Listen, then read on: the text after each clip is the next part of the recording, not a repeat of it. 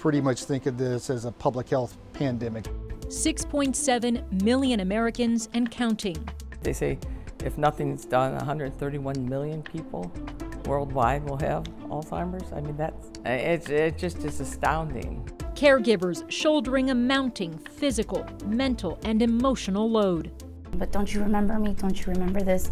And the cost of caring for patients is skyrocketing. There are billions and billions of dollars, estimated to be trillions uh, 25 years from, from now.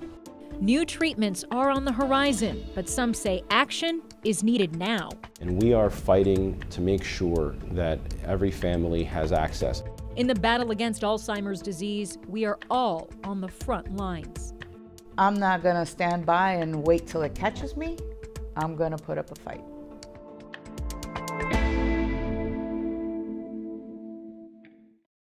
Good evening and thank you for joining us. I'm Lauren Pastrana and tonight we are illuminating Alzheimer's, shining a light on what many consider a long, dark goodbye. Alzheimer's disease is progressive, mild memory loss that gets worse over time. Families describe it as grieving their loved ones while they're still alive. For me and so many others, it's personal. My own grandmother and great grandmother had Alzheimer's disease. I watched as my grandfather, my mother, my aunt, and other relatives all stepped into the role of caregiver. An emotionally daunting task when you think about it, and I often do think about them and their sacrifice. I know there are millions more out there just like them, and that's why we are illuminating Alzheimer's. Suri Velez considers herself the family memory keeper. She has hard drives filled with photos and she can rattle off stories from childhood. But she's also living with the fear those memories may fade faster than anticipated. At 56 years old, Suri Velez is living with Alzheimer's disease. Constantly forgetting something and constantly repeating myself. Same story over and over again. Now, the story Suri Velez is sharing is her own in hopes of raising awareness for Alzheimer's disease. I actually got diagnosed at 52, but I already had seen the signs since I was 50. They did a bunch of cognitive tests. I failed them. Then they did the MRI and they did the PET scan. And the PET scan confirmed that I already had the amyloid starting in the front lobe. When you got the official diagnosis, what was your feeling? What was oh your reaction? Gut wrenching. I was like, I'm going down the same lane. I'm going down the same path.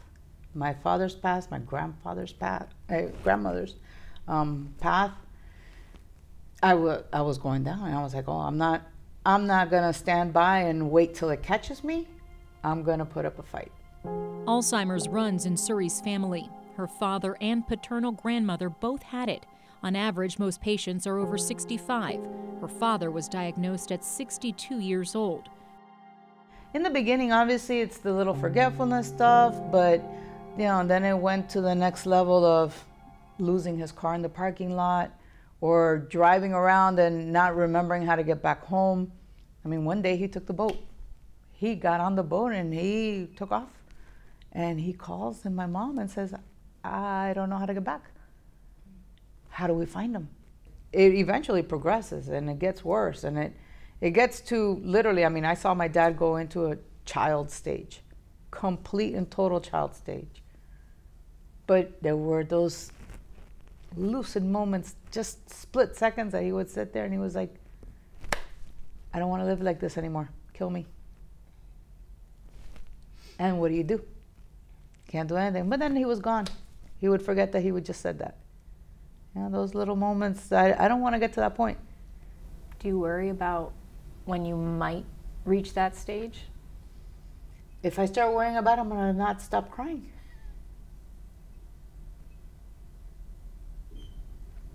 So, how do you stay positive?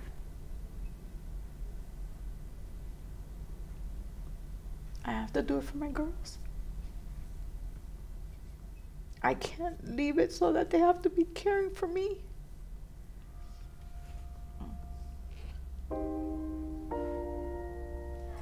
Suri has vowed to fight. In fact, her fight started before she was even officially diagnosed.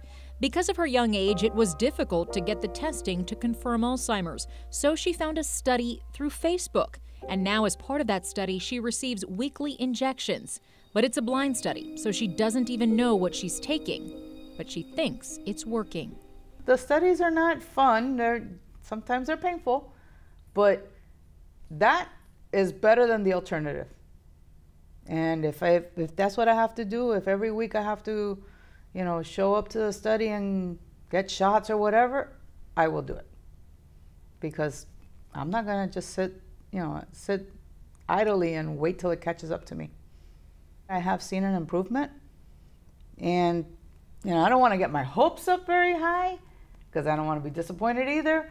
But I do see an improvement in what I remember. Is it frustrating to not know, or you're just like, hey, it's I really don't care. I honestly don't care.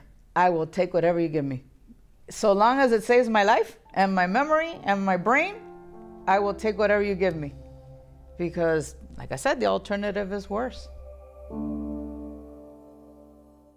It's that alternative experts around the globe are trying to avoid for as many patients as possible. And much of the research on the topic is happening right here in South Florida. Scientists at UM and FIU hope they're on the brink of promising new discoveries. We know a lot compared to when I started in in Alzheimer's, but it's like exploding now. Dr. Margaret Pericak-Vance has been studying Alzheimer's disease for more than four decades. The University of Miami geneticist led a team at Duke in 1993 responsible for the groundbreaking discovery that a common genetic variant known as ApoE4 increases the risk of Alzheimer's disease. She's currently the director of the Miller School's John P. Hussman Institute for Human Genomics. So one of the things we want to do here, because in the past, you have people who are looking at social determinants of health and the people doing genetics, when the really the answer is to bring them together. Statistics show Hispanic and African American populations are at increased risk of developing Alzheimer's, but it's not just about genes.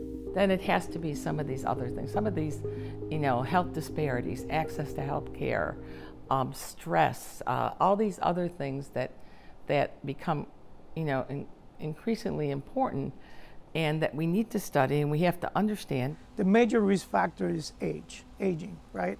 Um, certainly genetics, we know that there's certain genes that confer increased uh, uh, risk uh, for many of the degenerative diseases. And then scientists began to realize that you live in an environment that you're exposed to many different things. And so uh, now, today, gene environment interactions are clearly a topic of great interest in the context of neurodegenerative diseases.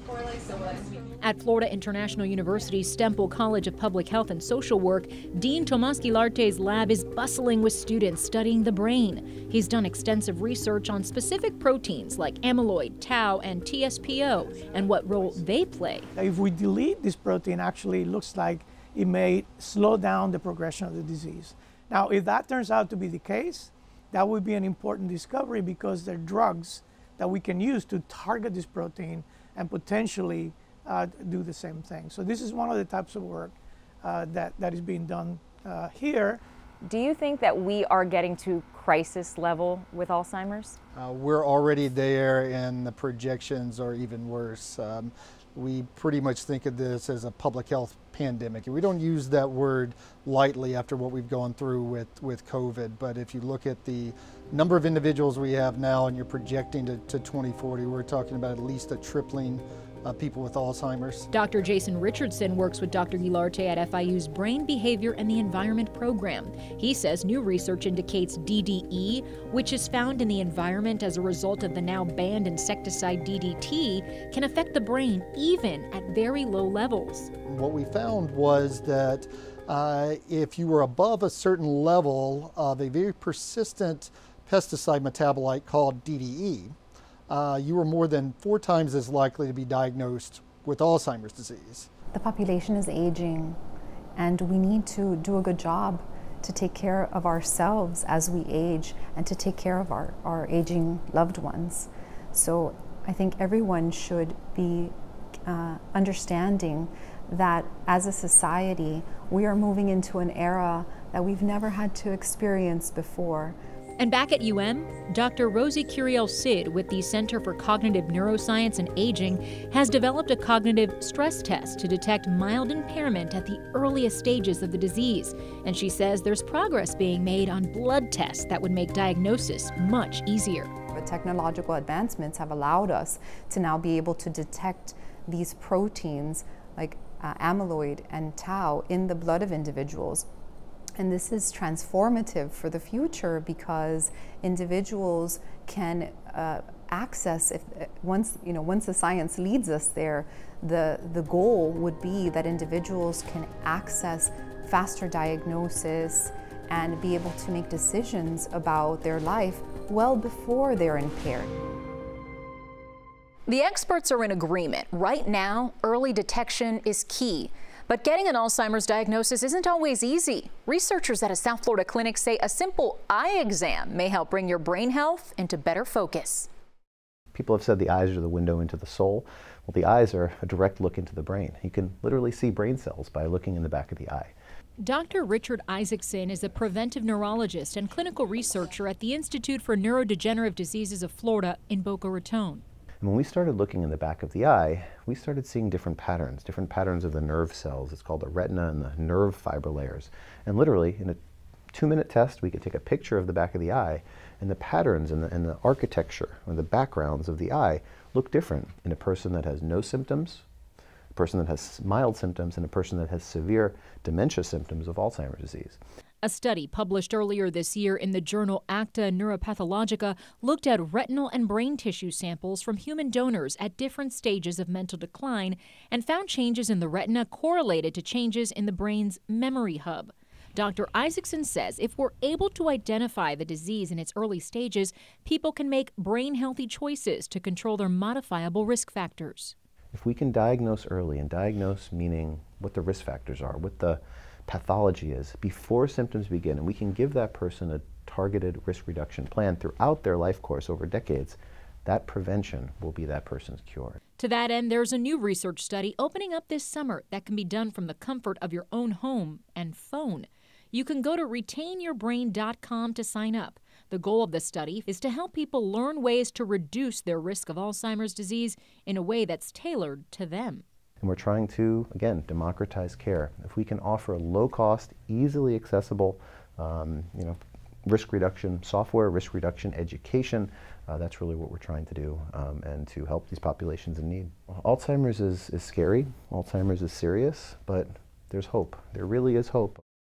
Patients aren't the only ones coping with the debilitating effects of Alzheimer's disease. For their loved ones, a diagnosis often means taking on the role of caregiver We'll hear some of their stories next.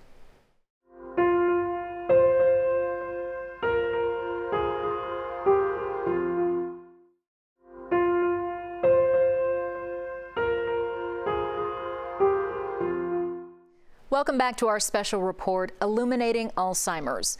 According to the Alzheimer's Association, there are an estimated 827,000 unpaid caregivers in Florida. But as we found out, their free care comes at a cost. With more than 66% of caregivers reporting their own chronic health conditions and nearly 30% suffering from depression. Yvette Tara and Ashley Alvarez have a lot in common. They're both the youngest of four siblings. They're both passionate about animals and their careers, and they're both caregivers for aging parents with Alzheimer's disease. I put myself in his place. How would I want to be treated if I had that disease.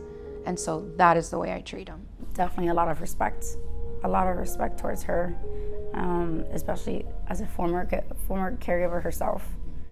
Ashley's mom, Mirta, is a retired school teacher adored by her students. She once cared for her own mother with Alzheimer's disease. Now bedridden, Mirta was diagnosed about nine years ago. Ashley was in college at the time. I actually had to ask for three incompletes my last semester of my master's program because um, I was entering my summer A, and that was when I started noticing my mom, my mom was trying to take the keys to go out, go out and get her café con leche from her favorite bakery, and she no longer remembered, and she would come back with the car all scratched up, and I go, no, this is a danger to everybody, and it's a danger to her. What kind of goes through your mind in those moments when you think my mom doesn't remember me? I actually recorded the first time that she ever said, "Tú no eres mi hija," um, because I needed proof to show my family this is what's happening, and she did everything for me, and now I want to do everything for her, everything that I possibly can. And she always said that she wanted to give us everything that she never had and more, and now I want to be able to do that for her. Yvette Terra describes a similar sense of duty. Her father, Aurelio, was diagnosed 11 years ago. My dad is a character. You know, he is funny, he's very strong willed, he's stubborn. Coge próximo palito. You know, he has a, an, an, amazing ability to love, but he can be stubborn and a handful when, he, you know, with or without all, Alzheimer's. I was seven years old when my parents divorced, and um, all of my siblings and I stayed with my dad.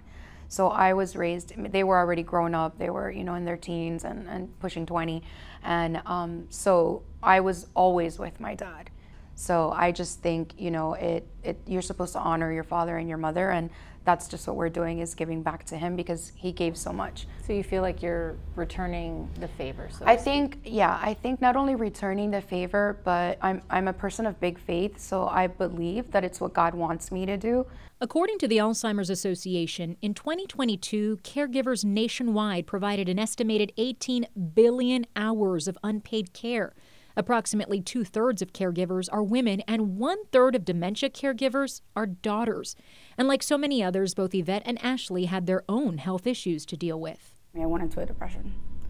I had to go on antidepressants, and having to, to, to go through that was probably the worst part of my life. Five years ago, I suffered a brain hemorrhage, and surprisingly, who was at my bedside every day was my dad. You know, um, Uh, he was there every day in the hospital. I was in, in a coma and the whole the whole thing. Um, but even in the midst of that, again, we had a plan.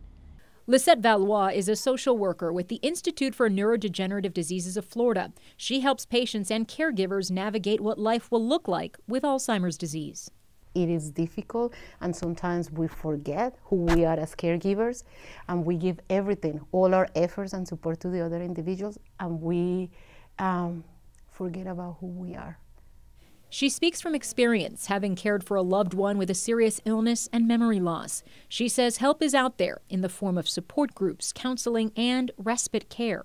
We're here to support you emotionally and psychologically only if you are willing to be support. So it's so important for if you know your your viewers have someone in their life, you know, or come across somebody in their life. You know, educate yourself about Alzheimer's. Before you can help, you have to understand the disease. You have to understand what that person is going to. What's your advice to people just beginning the, the caregiver journey? Be patient, be kind to yourself, and be kind to them. And seek help.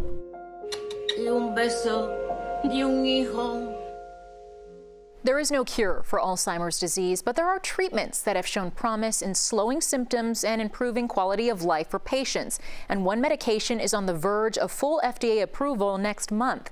I spoke with doctors to learn more about what's on the market, what's still in the works, and whether it's worth the risk. I have the hopes that I am on the medication because I do see I do see improvement Remember Suri Velez? She's part of an Alzheimer's clinical trial in which she receives medication every week. Or does she? It might be the placebo. She doesn't actually know, but she's hopeful. So long as it saves my life and my memory and my brain, I will take whatever you give me. Are we close to any breakthroughs? I think that we're close to breakthroughs. A lot of the research that we're focusing on, a lot of it is in the same area, which is in monoclonal antibody therapy. Earlier this year, the FDA granted accelerated approval for lecanemab for patients with mild cognitive impairment. Last month, drug maker Eli Lilly released findings that showed its monoclonal antibody therapy, donanemab, quote, significantly slowed cognitive and functional decline in phase 3 study. Dr. Rafi Wald with the Marcus Neuroscience Institute at Baptist Health's Boca Regional Campus says these types of treatments target abnormal bodies in the brain, such as the beta amyloid protein, but there are some pretty serious side effects. When you introduce these medications into a person's brain, what happens is they attack all of those bodies, including the ones that are attached to the blood vessels. Mm. Okay? When you attack those bodies and you destroy them, it can leave a hole in those blood vessels, which causes them to bleed into the brain, which is also very damaging. While it might be working on that beta amyloid that's accumulating in the brain, and, and again, that's an advancement, it may not necessarily change the way that they're functioning in their day to day life. Medicare and Medicaid don't currently cover these very expensive drugs. Dr. Rosie Curiel Cid at the Center for Cognitive Neuroscience and Aging at the UM Miller School of Medicine says we should proceed with caution.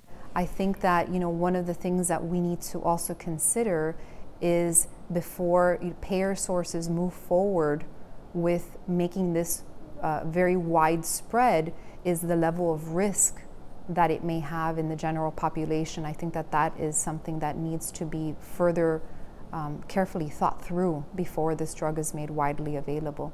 Other medications on the market for years have been found to give patients some extra time of improved functioning. But as far as a long term solution, you have to start years before you even suspect any symptoms. Exercise, okay? With the approval of your doctor, you're gonna walk. Walking is so important. It keeps your blood vessels healthy, it keeps your heart healthy. So I strongly encourage everybody to walk. Yes, doing puzzles and playing games on your phone and reading is important. That's very important. But much more important than that is managing your vascular health. The brain is the best protected organ in the body, but as we know, it's not immune to injury or disease. Part of its protection is called the blood-brain barrier. Very little gets in and very little gets out. But local doctors are developing a way to open that barrier in hopes of helping Alzheimer's patients. The blood-brain barrier stays open for a day. This device may one day be an integral tool in stopping Alzheimer's in its tracks. It's called the Exablate, and it's part of a non-invasive clinical trial happening in South Florida, currently screening patients. Dr. Shay Moskowitz is the medical director of neurosciences at Broward Health. By using uh, ultrasound, low-frequency ultrasound, targeted at small areas of the brain where the amyloid is deposited, can disrupt the blood-brain barrier. By opening that blood-brain barrier temporarily, we allow things to get in and things to get out. Continue to do that repetitively, the amyloid burden can go down, and in theory, that will alter the course of the disease. We know that it's a coming tidal wave of uh, uh, medical condition, which by 2050 will overwhelm existing medical services, and there's no known effective treatment, medical or surgical, to date. And that's why this technology may be a game changer. Dr. Michael McDermott is the chief medical executive at Miami Neuroscience Institute at Baptist Health, also studying disruption of the blood brain barrier. Um, ultimately, the goal, I think, down the road would be to combine um, this um, low intensity focused ultrasound with a drug because we know that opening the barrier will allow drug to get into the brain uh, whereas in a normal situation without that disruption, the drug won't get in. Both doctors are hopeful this research can one day help in the treatment of other illnesses, including cancer and addiction. Because Alzheimer's disease is so profound sociologically, economically, mentally, emotionally, it's a very big target for everything that we can do to try and impact it. So Alzheimer's disease is a logical, great place to apply this technology, but, but it will not be the only place that it gets applied. When we come back, how you can make a difference. Stay with us.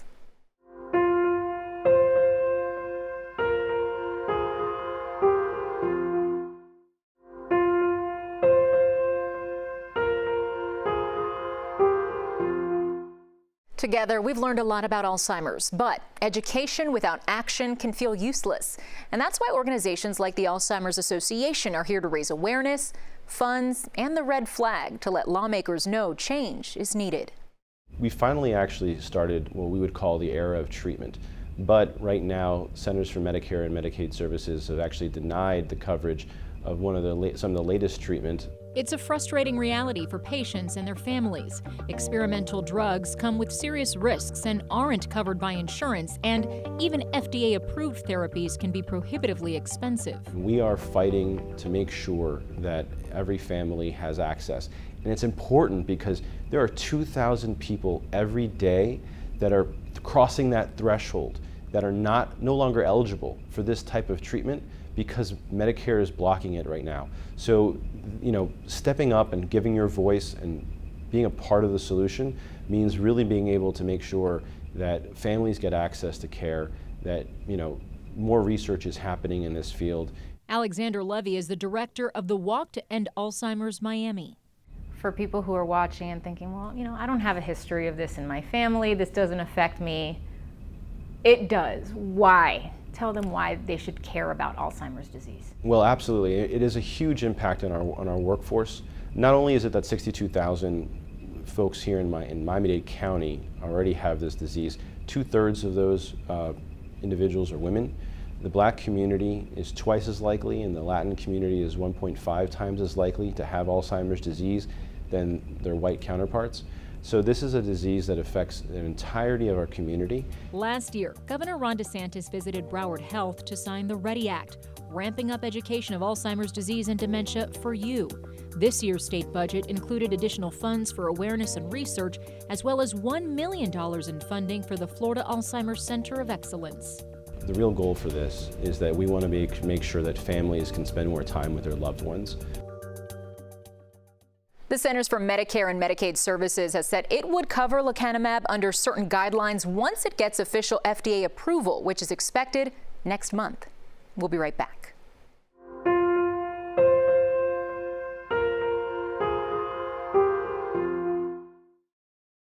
Thank you for joining us for this important half hour all about Alzheimer's disease. The education and conversation doesn't end here. We have more on our website, cbsmiami.com. On behalf of my family and in honor of others impacted by Alzheimer's disease, I'm Lauren Pastrana. Good night.